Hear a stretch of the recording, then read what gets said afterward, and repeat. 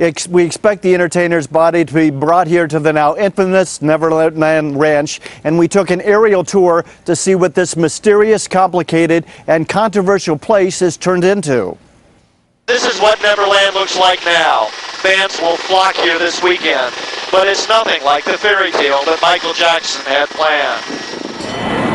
Neverland was built by Jackson when he was 29. 2,800 acres of splendor in the California countryside, influenced by Peter Pan's mythical world, where children never grow up.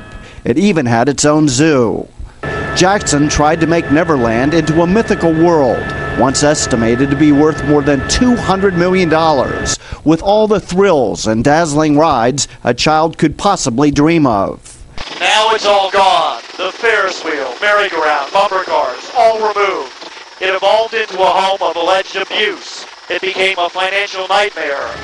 In 2003, prosecutors seized all Jackson's belongings, only to have to later return them when he was found innocent of child molestation. But this is a rare look at what was inside. A reported bedroom where children could stay and could only be reached by going through Jackson's bedroom. A reported windowless 8 by 7 foot room with photo albums and unmarked videos. And a wall containing photos of boys, including child star Macaulay Culkin.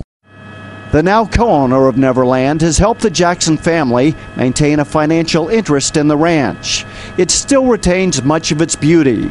Fans from around the world are already flocking to the Neverland Ranch, and the owners feel they owe it to Jackson to allow his fans to come in enormous numbers to grieve. To me, I feel like this is the closest that I can be to him right now. It is tragic that the shrine that Jackson built as a place where people could remain young at heart forever will now be a place for his fans to come and grieve.